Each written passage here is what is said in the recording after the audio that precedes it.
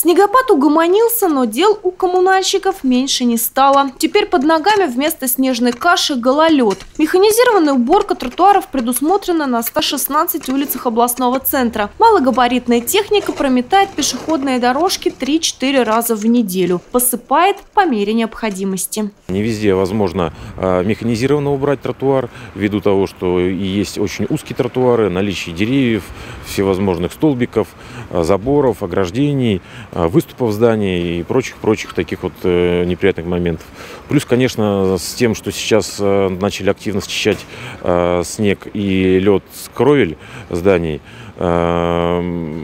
и за собой собственники не убирают, Э, вот э, это, конечно, для нас очень тяжело, и жители жалуются на это. На улице Зеленой около поликлиники наледь скалывают вручную. Таких мобильных бригад в городе 5. В каждой около 20 человек. Работают с 7 до 15 часов. Труд тяжелый.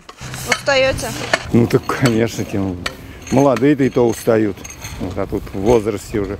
Ну, как говорится, работу нужны. Люди ходят, это, падают бывает. В это, ой, молодцы хоть.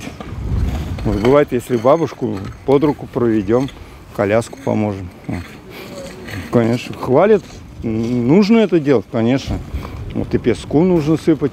Первую очередь обрабатывают тротуары с интенсивным движением вблизи социально значимых учреждений. Также в приоритете обращения граждан. Специалисты управления благоустройства принимают устные заявки на уборку пешеходных дорожек по телефону 32 47 46. Также можно обратиться на телефон горячей линии МУПСа ЖХ 26 34 46. Елена Белова, Денис Денисов, РТВ Иванова.